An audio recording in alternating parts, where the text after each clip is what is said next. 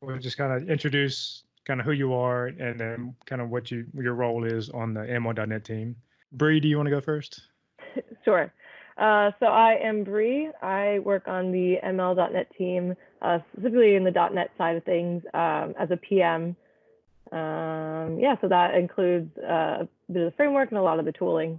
Um, yeah, so you've probably seen my face around for ML.NET things mm-hmm. recently. yeah. Uh, let's see, Eric.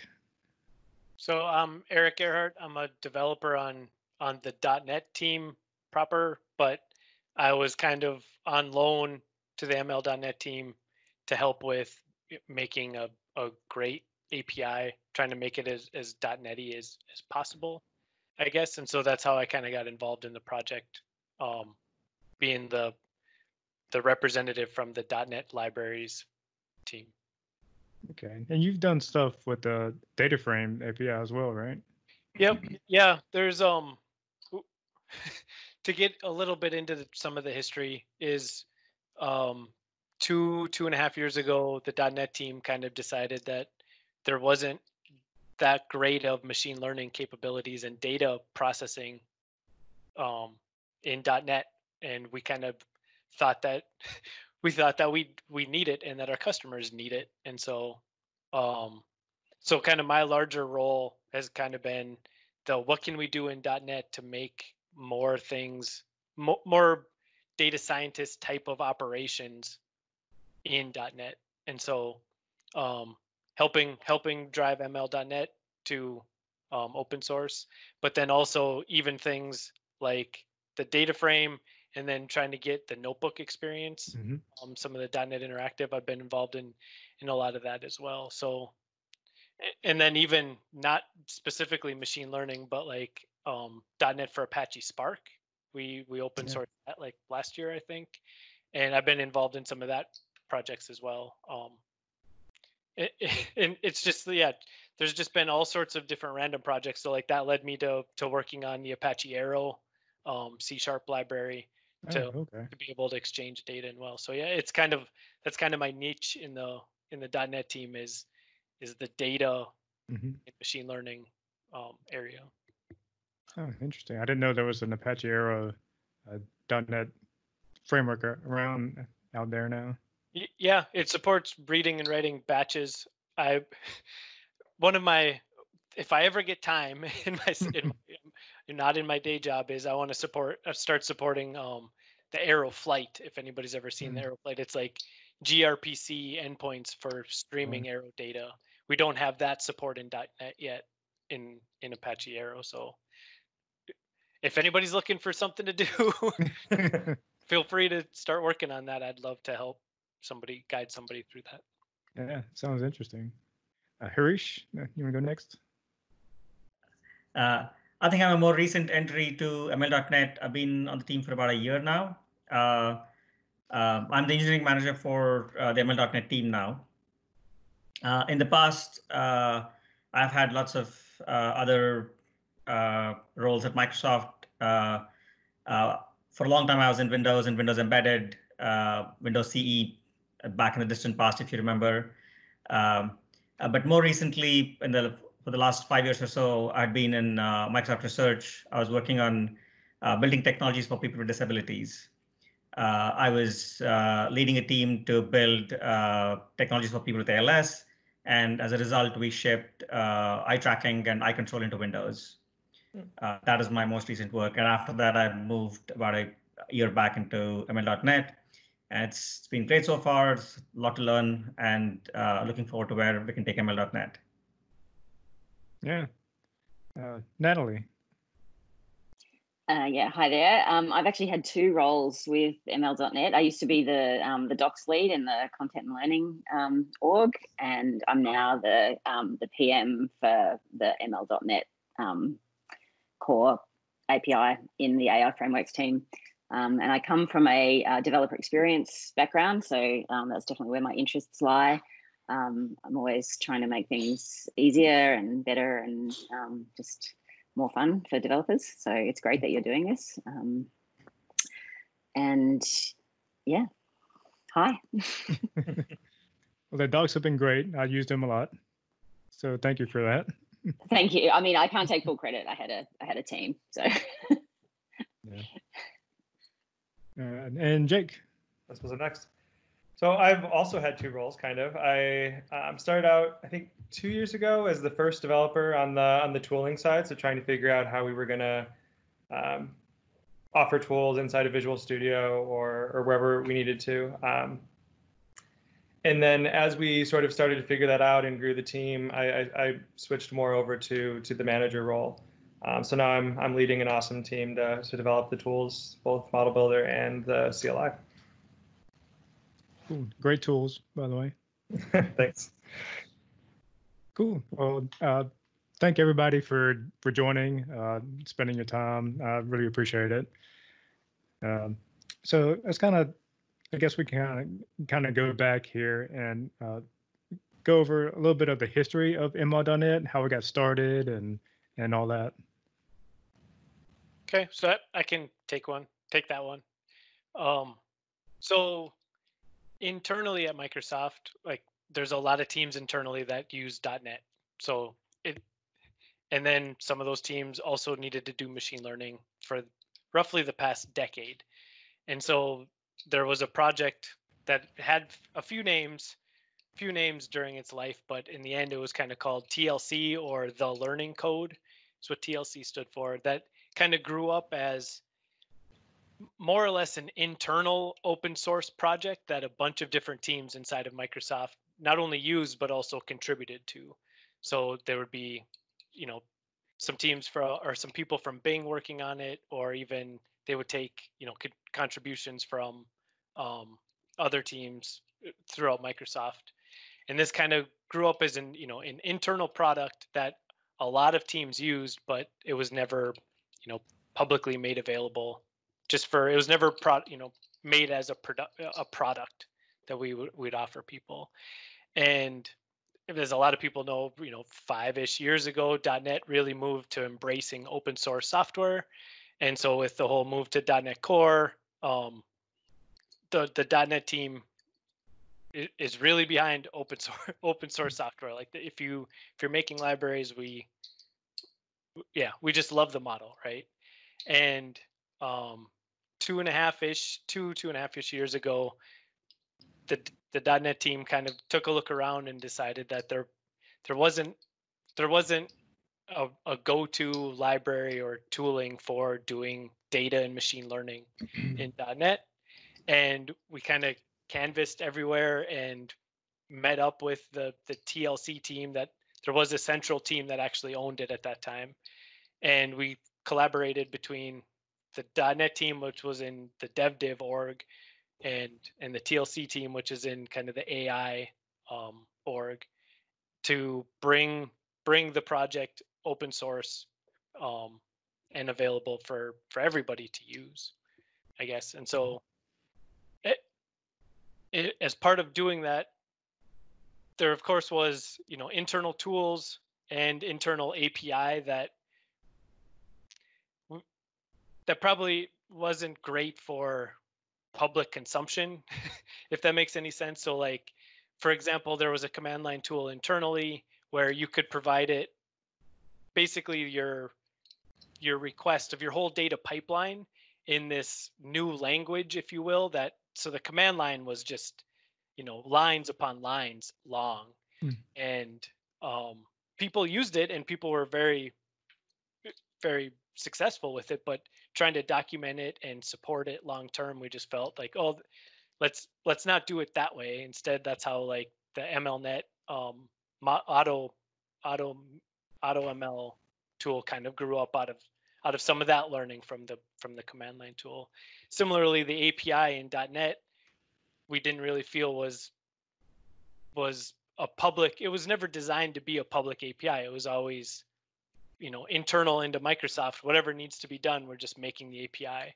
So the .NET team and the TLC team spent a lot of time refactoring and changing the API. And what kind of grew out of that, it kind of made a schism a little bit of there's the TLC product and then the ML.NET product. And so the old APIs, when you're coming from TLC, you kind of had to migrate to these new APIs.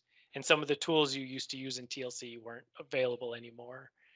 Um, but now, I don't know, Harish can maybe correct me if I'm wrong, but pretty much ML.NET's the only thing that's actually being actively developed. There's still internal sources that um, we we never open sourced that are built on top of ML.NET now, but yeah, that, sorry. Yeah, that's correct. Uh, TLC uh, is has a very rich heritage, like uh, Eric was saying. Uh, it's been developed for over a decade, uh, and ML.NET uh, grew out of that. so, but right now, ML.NET is the only active thing being developed. TLC still has a lot of usage, and when we think of ML.NET usage internally, we do have to think of TLC and ML.NET together because they're essentially they, they share a lot of code together. The, the API is is different, and so things are not compatible, but the core algorithms and the core implementation are quite identical. Uh, so we have very widespread deployments of uh, TLC and ML.NET internally as well. Uh, but like Eric was saying, uh, ML.NET is our current and future focus for .NET developers. Cool. Yeah, it seems like it has a lot of rich history there. All right, so uh, let's kind of jump a little bit, and if anybody wants to explain um, why would develop why would developers want to use ML.NET, uh, kind of as opposed to something in Python like scikit-learn uh, for their machine learning pipelines. Um, I think Eric can take this one. I can take this one as well, or so others. Uh, like when I came in, uh, for me, the uh, like I love Python as well, and uh, it's a really nice language. But the first big difference I noticed uh, when I started learning ML.NET was uh, essentially iDataView, and the advantages you get with iDataView and how all of ML.NET is structured around that. we get really scalable data processing. Um, and it's really a credit to the uh, original designers for uh, bringing essentially the core concepts of a database and the streaming data processing into a nice small compact library that allows you to do uh, data processing for machine learning. Uh, I think uh, uh, this has been a key advantage for for ML.NET. we are able to process large amounts of data in in a fraction of the memory that would uh, be required on Python and uh, other languages. Uh, similar things are being developed in uh, Python right now, uh, but I think ML.NET has a really clear uh, advantage there. the other thing is, of course, C Sharp has a very rich ecosystem, and this is the go-to library for anybody wishing to do classical machine learning on and data processing on .NET frameworks. Um, the um, let's see. Yeah, I'll just, I'll just follow. I'll just follow up on that. I mean, I think you've identified the two things. So basically, if you are coming from a .NET ecosystem, um, like that's what we hear, you know, from our developers that they come from a .NET ecosystem and they want to remain in the .NET ecosystem, and ML.NET offers them that opportunity for machine learning, and then of course the speed. Um, I can so yeah, and uh, C, C Sharp overall has had better integration into production pipelines uh, historically. Uh, Microsoft has a lot of its customers in the enterprise space, uh, and the language and the tooling uh, has all been directed towards production environments. Whereas Python, I think, has grown out of a more research environment, and all the uh, uh, machine learning and the data uh, processing libraries around Python have been uh, more directed with a research mindset. So on one hand, you see really cool uh, development happening on Python, but on the other hand, for production environments, uh, C Sharp is really well suited, both in terms of performance and the tooling. Yeah, and kind of going to that performance, I think there was a a paper about ML.NET that kind of shows comparisons with with that with uh, scikit-learn, and it, I think ML.NET was more performant than scikit-learn and very large data. data. I don't remember the the paper details offhand, but yes, uh, we consistently see it uh, even now. Uh, ML.NET uh, and especially with uh, AutoML.NET as well, uh, data processing is uh, possible on large amounts of data on much smaller machines and with much uh, lesser memory. Yeah, that's always a good thing to have that extra performance boost. yeah, and the uh, a, a, related um, advantage, which I don't know uh, if has been explored enough, uh, is that this makes ML.NET also much suited on uh, better suited on the edge. That if you want to do some uh, machine learning on the edge, where you don't have the same compute and uh, memory capabilities of a massive server and a data center, uh, this is a really nice uh, tool to have. And by edge, you mean like IoT devices? Yeah. Okay. Uh, like you can throw an Intel NUC and uh, you can do lots of things on an Intel NUC. All right, so that's great, great benefits on on using ML.NET. Um, for y'all, what do y'all think would be the, the future of ML.NET? Uh, such as, you think there'll be more like deep learning features coming soon? Or uh, I think I've seen some people wanting some object detection in there. So um, uh, the future is a great question, uh, and it's a hard question. Uh, we are uh, in the planning phase right now. We are continuously discussing uh, how do we weigh against, how do we bring our customer requirements with what's possible right now and what we are capable of delivering within a reasonable time frame. Um, so I think our immediate focus right now has been time series because of some internal requirements and you will see like in 1.5 and uh, current releases, uh, a lot of work coming on time series uh, uh like anomaly detection and root cause analysis. Uh, but going forward, um, uh, we've had a lot of discussions with Jake and Bri about object detection and also trying to shift more towards AutoML.NET to provide more capabilities out of the box to developers um, I, I, think of this as the, the classic wizard model that uh, Visual Studio and DevDiv has had a lot of success with. Uh, how do you lower the uh, barrier to entry for developers for uh, new technologies? Um, and this this goes back to um, um, I don't know, Class Wizard and MFC doing project wizards. Uh, Visual Studio has been very, very good on those things. So we are working with Jake and Bri uh, constantly on that for improving, and I think they can talk about it more uh, about the tooling around that. And that's also going to be one of our focuses. Uh, Jake, do you want to? Yeah, I can touch on it too. It there's sort of an interesting thing too, where we have our we have our tooling, um, and that can kind of go at a different pace than ML.NET. Although we're trying to make it a cohesive experience across all of it. So, for you brought up object detection, um, that happens to be a scenario that we're working on right now. Um, and at Microsoft, we already offer object detection training in Azure.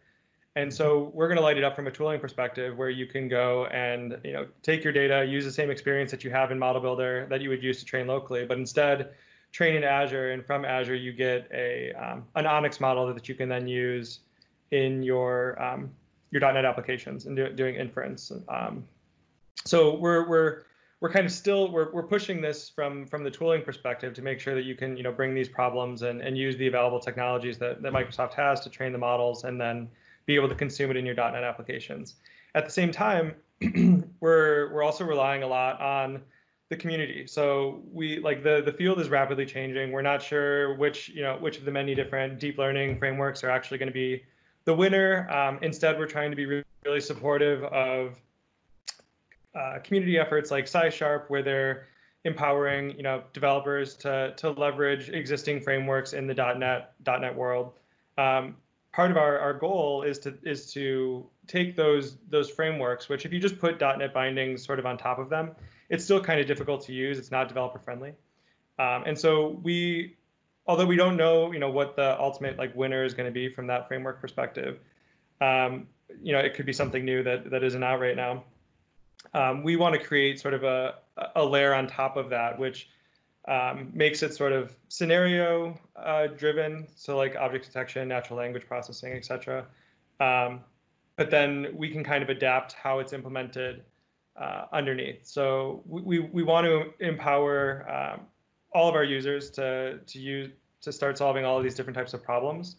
Um, so one thing that the community can definitely do to to help us drive our priorities is like bring problems to us, tell us what scenarios you uh, you want solved. Like give us real world examples, and we'll try and you know either solve it with our our tooling, like how we're doing with object detection and Azure training, um, or we'll try and get it in our AutoML, sort of our developer friendly API, or we can try and push it into our, our frameworks. But we kind of need uh, that's why we you know love doing these sorts of things. It's Like the more community involvement we get to help us drive our direction, that will um, that'll tell us where we're going to invest and and how much effort to put into it. Yeah, I want to add a small bit to that, which is you can really think of this stack as uh, three layers. There is ML.NET uh, at the bottom, then there is which has its own API, and AutoML.NET, uh, which provides a different level of API, and then there is Model Builder and the associated tooling. So uh, depending on the user scenarios, we can choose to address these at different levels. Uh, if we are missing some core algorithms, and then we would uh, go back and look at it at uh, the AutoML.NET uh, layer, sorry, the ML.NET layer.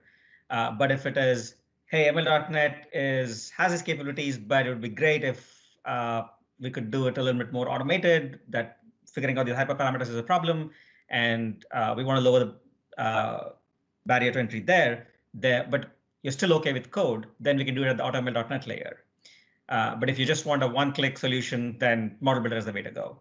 So depending on what maybe three clicks, but sorry, I said maybe three clicks, but yeah.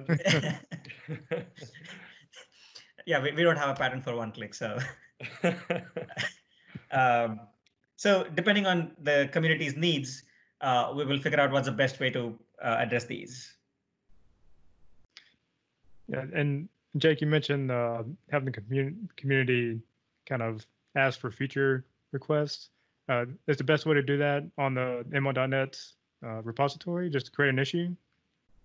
Yeah, probably. I think there's a couple different repos. I mean, if you if there's something that you specifically want solved in like the tooling, um, we have the model builder repo, but we all work closely together. So if it ends up in any of the machine learning repos, we'll we'll communicate and make sure it gets to the right team. Yeah, if if you notice issues keep getting transferred between us between the repos, so the uh, our uh, users uh, are welcome to open their uh, their issue in either of the repos, and we will figure out where it fits, and we will transfer it accordingly. Okay, cool. And uh, so I know we mentioned some on Python. Uh, some people might want to still use Python, but still use kind of the the speed enhancements of ML.NET. is there any way you can use ML.NET in Python right now? Uh, absolutely. So uh, we do have Nimbus, which uh, uh, is an experimental project. I think it's a good place for somebody for developers to evaluate whether this is a uh, this the solution fits them. Uh, what we have is Nimbus is built on top of ML.NET and there's a set of Python wrappers around ML.NET. So you get the same benefits of uh, iData view and streaming data processing that you would get from ML.NET, but you also get the uh, Python ecosystem uh, that you might be comfortable with. So you could say do a bunch of uh, pre-processing on uh, on your data on your Python uh, environment, and then feed it ML.NET for for processing them in a streaming fashion. So Nimbus, I would say, is still an experimental project. Mm-hmm. And uh, we would love to hear from our users uh, if somebody has played with Nimbus, uh, what they think of it, and uh, how it meets their needs. Cool. I played with it a little bit, and it's been a good experience so far. So, and kind of a little bit on some details on how that works. Uh, that uses something that ML.NET has called entry points, right? Right. Um, I can cover it briefly. Eric, do you want to take that one? Uh, entry points? Yeah, I can. Um, the entry points were at first they were they were going to be the API. At one point, it was it was kind of thought that this would be the APIs. Anytime you wanted to talk to ML.NET, you would use these these entry points, which are basically like even higher level API wrappers around around ML.NET, the API. And there was a decision made pretty early on when we when we open sourced that well, if you're in .NET and you want to talk into ML.NET, why would you want to go through these other entry point APIs when you should be able to just directly reference the libraries itself and just deal with the libraries? And so um, a, a lot of the work was was when we made that API moving all the the .NET APIs down lower eh, to, to underneath the entry points.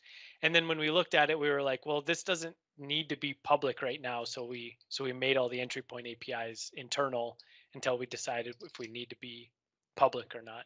But one of the the internal consumers of it is is Nimbus ML. And so kind of the way the entry points works is Nimbus ML builds up a, a JSON graph of this is what the the pipeline or this is what my data workload wants to uh, what I want to do with this data. I want to do these transformations and then do this learning and then maybe do this post learning thing. Okay, now go ml.net. Here's all my whole my whole pipeline all in a JSON graph. And so then entry points takes that JSON graphs and then starts building up the pipeline um, based, you know, basically weakly typed or dynamically using the ML.NET API that we expose to normal .NET developers.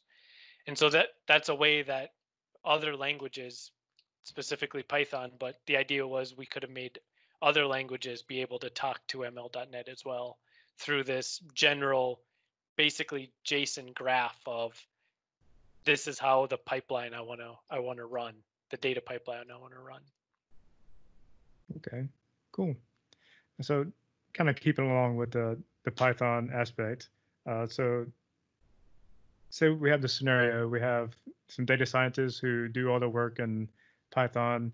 Uh, they, they build a model and all that, and they want to productionize it. But we, like me as a .NET developer, how can I use that model that they given me within a, a .NET application, as in with ML.NET?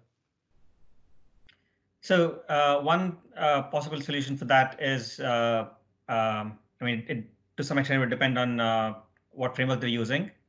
Uh, I think uh, if it's PyTorch, there is a, an export mechanism to convert a given PyTorch model to ONNX. And ONNX is sort of the bridge between multiple frameworks and multiple languages as the, let's say, the lingua franca for model pers persistence. Um, and that's what Microsoft is putting a lot of its effort uh, around. So you can take a PyTorch model, uh, export it to ONNX, and then run your inferencing uh, using ML.NET in a C Sharp environment uh, using uh, ONNX Transformer. Uh, it gives you the ability, it gives data scientists the ability to train and experiment and build their models in Python, and then have the same model be executed in the production environment seamlessly. Yeah, and, and you can also do that for TensorFlow models and scikit-learn models and you know models developed with TensorFlow with the Keras API as well. Um, there's um, ONNX converters for all of those frameworks, um, and then they can be imported into ML.NET. Yes. So I guess I have a follow-up question. We also do have some um, ways of like importing TensorFlow models into. I don't know what the limitations are. Um, is there I guess, is there a recommendation from us to specifically go to ONNX or do some of those other APIs work? No, we can execute TensorFlow, uh, like we do have a TensorFlow uh, transformer and we can execute TensorFlow models as well. Um, and I would say, I, I, think that the machine learning community is, or the AI, uh, at least the deep learning community is uh, sort of uh, congealing around either TensorFlow or PyTorch. Um, and um, the but in terms of model exchange, uh, I think ONNX is solidifying itself as uh, the the framework and language for model exchange. So regardless of uh, what framework you develop in, you can always convert them into uh, ONNX. And recently, ONNX has shown uh, remarkable performance improvements in execution compared to both TensorFlow and PyTorch. So you can have an ONNX backend and execute your models uh, much better uh, with ONNX. Uh, and um, I think Microsoft is uh, very heavily invested in ONNX. Uh, That's good. Just just to add to that, th this is basically the experience that we have in, in our Azure training. The object detection and the image classification both currently train in Azure using uh, something in Python, and then it's exported to ONNX, and then Model Builder basically wraps that in ML.NET code to to load that ONNX model and um, .NETify it. And uh, even within ML.NET, uh, this has been a more recent effort. Uh, we are investing quite heavily into making sure that all of ML.NET uh, models can be exported to ONNX. Uh, uh, not all of the work is not complete yet. so the idea is that you could train your model in uh, using ML.NET, and then once you have a model, you could execute that on a CPU or on a GPU. Like ML.NET currently does not support GPU. Uh, but if you were to export your model to uh, ONNX, you could execute your model on GPU. And that's a clear advantage. Yeah. So kind of with that hypothetical situation I gave, you can turn that around too. You can train your model in ML.NET, create an ONNX model, and then hand that off to the data scientist or uh, you know, if they use uh, Flask for their website, they can use that. Yeah, yeah, absolutely. Okay. Yeah, that's cool. A lot of flexibility there. And um, kind of shifting gears a little bit, um, I'm just curious. Do y'all have any like favorite stories of uh, customers using ML.NET in their production environments? Um, I have I have one, um, and it's maybe because I'm Australian. There's an Australian company um, called ScanCam, um, and they're using ML.NET um, to detect uh, people who are trying to steal the gas from um, gas stations, and so they take images of uh, cars and license plates, and then they run that uh, do object detection on the license plates, and then they run that against a known list of criminals in Australia um, to um, yeah so that's a um, I think it's a really fun and useful um, customer story that we have and Bri has written up um, that uh, story on our uh, customers website and I think is the net result that if it detects the license plate, it just, they just have to go in and pay. Is, is that the prepay or something? Is that the net result? Okay. Yeah, I can uh, I can talk about one of my other favorites um, that was also recently put up as a story is uh, Asgard Systems. They're actually uh, based in Romania and they do uh, forecasting uh, for gro like grocery forecasting uh, at, at, grocery stores, and they do it to to eliminate food waste. And it, what's really cool is the impact that ML.NET has have has had. They were able to implement it really really fast in in just its first year. Uh, they achieved greater than 24 million pounds of CO2 emissions in yearly savings.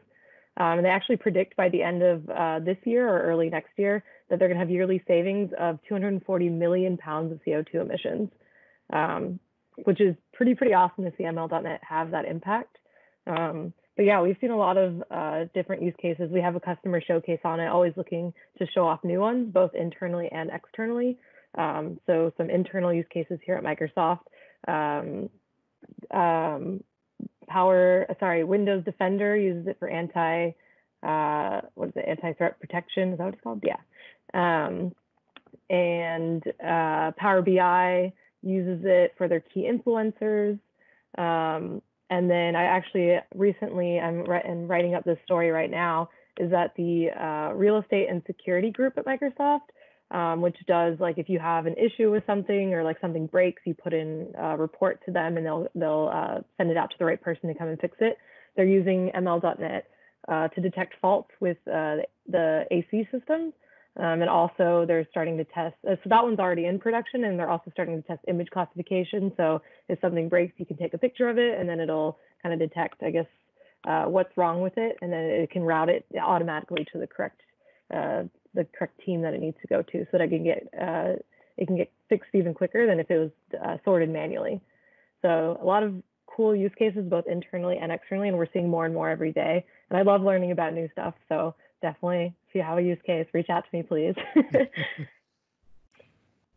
It's cool to seeing how it's already used in so many places already. Um, let's see.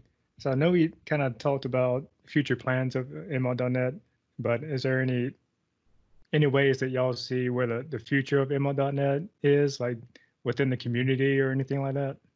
I know we had we just had the uh, virtual ML.NET community conference, which uh, anybody any of y'all called that any? I watched some of the replays. I wasn't there live. I Yeah. watched some videos. Same. I was there. Um, but I, I guess I can talk to this a little bit. Just that since that um, since that conference, I've seen so much more community engagement, which has been really really awesome. Um, there was a new subreddit created for ML.NET. I've seen a lot more questions in uh, the VS Marketplace for Model Builder, even though we're no longer an extension, but we used to be. Mm. So already in the past like week, there was like three or four new questions about it. Um, We've also seen an uptick in our bug count. So what? We, we've also seen an uptick in our bug count, which is also a great reflection that, hey, people are using it and they're seeing issues. So Yeah, we're always happy to see those. Exactly. Oh, and uh, Alexander, who is one of the co-organizers of the conference, he's created a new op- uh, open source project called MLOps.NET, which is for MLOps for .NET. Mhm. I think based on MLflow.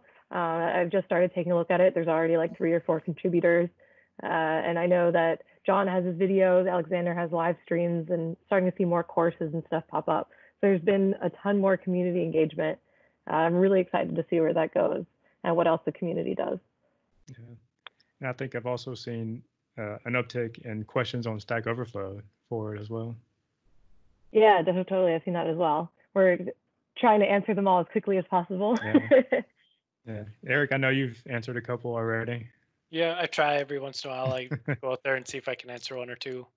Uh, another case where community engagement kind of upticked, it not necessarily ML.NET directly, but um, Daniel, Daniel Costea, I think I don't know how to say his name exactly, but he's been helping us. Um, there is there's a, a an experimental data frame library um, Mhm. called Microsoft.data.analysis and it, you can kind of think of it as like the a pandas data frame only in in .NET, and so you can you know load up your data and then look at it and do do slicing and dicing, and it works even better when you use it in the the .NET interactive environment. So like a Jupyter notebook, or even that team is is you know even more experimental. But VS Code has a notebook experience for Python today, and we're working on getting this the C sharp and F sharp um, and PowerShell, it, the .NET interactive experience in that VS Code.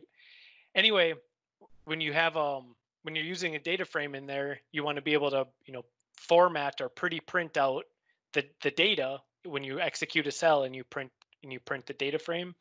And Daniel's been helping us get that integrated automatically. So you just have to reference the data frame library in a notebook and as soon as you start printing out data frames you don't have to have any code to format it it all comes automatically in the NuGet Oh, package nice. so the community engagement like that we're helping out where we would love to see these features but we just don't have time to do them or don't have the funding to do them right now Mm. getting more people involved with with those kinds of things like he he made the formatter way better than we ever did we just kind of showed you the top, you know the first 25 rows and then kind of left it at that and said oh there's more rows and he actually implemented paging so you can page through the rows and Oh. things like that so I- i love to see things like that you know taking taking things that we made and making them better and helping out helping us so Yeah, you know that reminds me of a one of my computer science professors. You know, you can just take it and make it better. yeah yeah for sure And so, I know we mentioned putting in for uh, future requests, putting those in the uh, in the issues in the in the repo. But what are kind of some other ways that people can contribute to ML.NET? Uh, I know we kind of mentioned what Eric just said, kind of just taking stuff, making it better. And uh, but are there any, any other ways that people can contribute?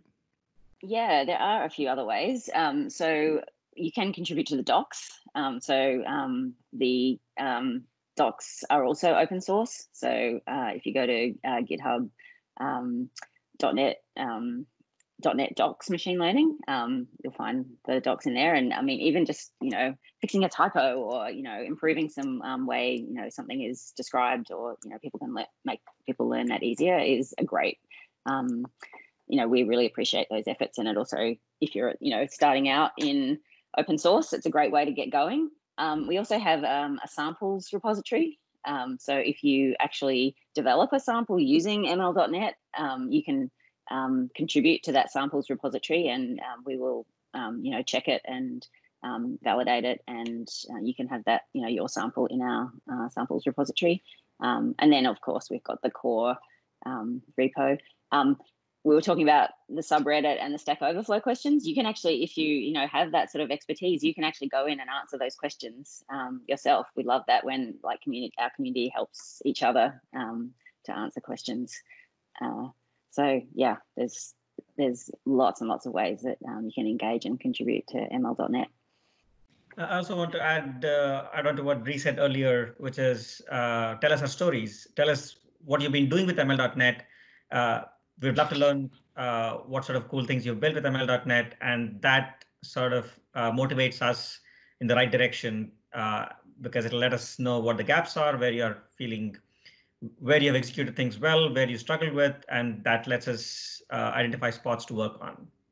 So, yeah, and, and that, that is actually one of the challenges of working with open source software is that sometimes we don't know um, what our customers are doing. Um, because we're not, you know, like handing over a, a product every time. So um, we'd love to hear back from, um, you know, customers about their success stories or their challenges. Totally. Yeah. Just to add to that too is I think that um, at least internally we we feel like developers kind of have a high pain tolerance and but we actually want to hear all of the pains you're going through. So like reach out to us even if you like got through a problem you found a way to solve it yourself you um, like let us know. That way like the next you know people that come to use our tooling um, or our apis or something like that don't have to like go through those same struggles. So it doesn't necessarily need to be a problem that you haven't solved. Like reach out to us if you're if you you know there's something that that we need to to polish um, let us know. Yeah there's a great uh, term internally uh, called paper cuts.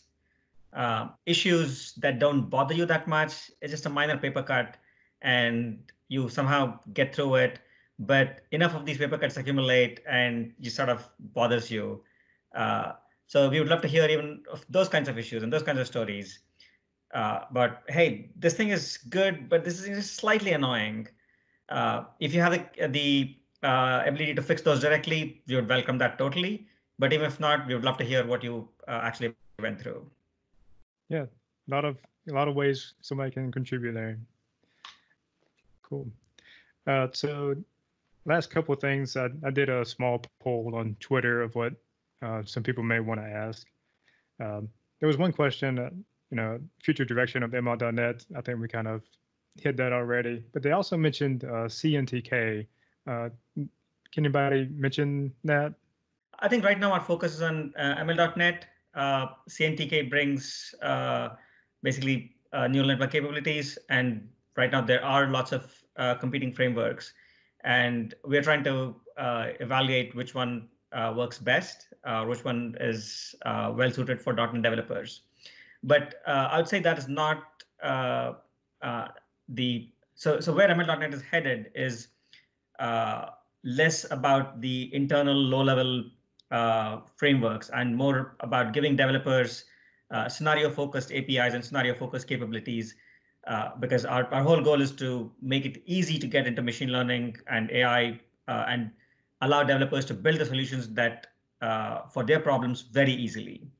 So whether it's CNTK or TensorFlow or PyTorch, that's not uh, as important a question as are we bringing new scenario uh, cap capabilities like object detection or better text processing and text classification or other natural language generation capabilities. And those are the things that uh, we are uh, actively focused on. And how do we uh, light those scenarios up for our uh, developers? And that's where our focus is. Yeah, it's good to see that it's more kind of bridges the barrier to for developers to get get started there. Uh, another question was, uh, can I build a mobile app using ML.NET? today you can you, you can at least um, have your have your machine learning model hosted on your server and make a make a service request you, you know to a to a service that has ml.net model in there? Like one one question we get asked or i get asked every every once in a while is well i want to run the the model on the mobile app. And um, one one thing to be aware of when you do anything like that right is that your your model if it contains secrets of any sort or you want to keep it pub you know private putting it in into a mobile app or onto a client somehow like people are going to be able to get to your model then. So it's just something you just need to be aware of. But um today when say if you want to make a, a xamarin application and target say ios which is going to be running on an arm processor to, today um it, it's not possible to to even you know make an inference on in machine learning on that on that Xamarin application. But when when Xamarin gets ported to um, .NET 5 and and uses the Net 5.0 um, TFM in in ML.NET, the the thing that that causes the problem of why you can't run it in Xamarin is because the low level math that happens is all written in C++ and we never and we never we don't build that for ARM today. So either we would need to build that that co- that core piece on, on ARM, or in in .NET 3.0, .NET Core 3.0, we added APIs to allow you to do what's called SIMD processing or like hardware acceleration, um, all in C sharp, right? So you can do say, four, you know, four multiplications of of a float of a floating point all at, in one machine instruction, right? That that was the low level math code that was written in C++. We rewrote that in C sharp and then to take advantage of these new APIs, but those APIs don't exist in Xamarin until until Xamarin gets ported onto .NET 5. And so in the future, you will be able to run your uh, some of the machine learn of the ML.NET models that you made on a mobile app that being said, as well, if you can export it to ONNX, you can you can um, do ONNX in, Yeah. inference in on that mobile app as well. Hmm. So I mean, there's there's options, and there'll be more options in the future. It's kind of the my answer. Yeah. So at the very least, you can use an API to make the call. Right. Which would be my well, depending on exactly what you need to do, but that's probably the way I would start. Mhm. Is I'd have a service where you send the data to the service, it does the processing and sends back the the prediction. Okay. And another question, can we expect GPU support with ML.NET? Um, our GPU support, uh, I think, is through the ONNX route uh, for inferencing. Uh, we uh, haven't uh, thought explicitly about uh, GPU support for training as yet. Uh, but if there is a scenario that they care about, uh, we would love to hear more and understand what is their motivation for uh, uh, GPU training on uh, C Sharp and ML.NET. We Okay. do have GPU support in ML.NET for um, for image classification. You can you can add in. Um, Yeah. It's kind of built on top of TensorFlow.net. So if you if you change your dependency from the the CPU version that um, over to the GPU version and set up your machine to have CUDA and cuDNN, um, you can do GPU training there. Um, and we're from a tooling side, we're going to be um, releasing a sort of preview feature where where you'll be able to install not just ML.NET Model Builder, but ML.NET Model Builder GPU something. I don't know. I don't know if we've officially come up with a name yet. Um, but somehow we'll, we'll we'll show you. We'll like give you a way to install this um, other extension that basically adds GPU training on top of Model Builder. So if it's installed, Model Builder will try GPU training. Um, there is sort of a weird thing. Um, you'll see this in our documentation once we release it, but like it, it's tough to actually get through the process of installing um, CUDA and cuDNN correctly. Uh, it's and then even those installers actually have bugs where it'll try and install drivers that don't have it, it doesn't matter. Uh, but we'll try to we'll try to document it away. We'll try to um, help you get through it. And then we're also working on um, trying to to make that experience better by either using a new version of, of tensorflow or, or looking at the other options that are out there. Um, so it's on our mind especially for uh, like image classification and object detection scenarios where like having that gpu support will save you you know 90% of your time. Um, but we don't have the full story yet. But a preview feature coming soon. Okay. Um, I guess last question is uh, right now there's a load and score TensorFlow model. Uh, what about uh, uh load and score top uh, PyTorch models? That's uh, that's a great question. I, I, think we haven't thought about it explicitly, but we'll definitely take it into consideration but you can um, export a PyTorch model to ONNX. So you have the the full functionality of a PyTorch model that, and then then we can score that in ML.NET. Yeah. Uh, so you can you can do the thing you want to do. You just need to um, there's one extra step that you need to go through to export that to ONNX. Well, that's kind of all that I have. Uh, is there anything anybody wants to add? So uh, one thing I do want to add is uh, I think what you're doing is also great for the community. Uh, so you are asking how we can help the community. So thank you for doing this. Uh, really appreciate this, uh, and uh, hope we can talk more in the future. Yeah, look forward to it. Totally. I think one one thing to help is is uh, is growing the community. So like if you if you use ML.NET, you like ML.NET, tell people about it. let's let's start building a bigger community, and then they'll ask us for more things, and we'll keep building more more things like, subscribe, all that. Swipe up to subscribe. Is that how it works? Um, I so click the link below. Yeah, exactly. Right, right here. You're gonna use this, right, Jon? Um, the only thing I wanted to say is I'm really excited to see how people are using ML.NET and what you all want to see next. And also stay tuned for an ML.NET hackathon. That's all. All right. Well, again, thank you all for uh, joining me and answering my questions. Uh, I really appreciate it. Thank you. Yeah, thank you, Jon. Thanks, Jon.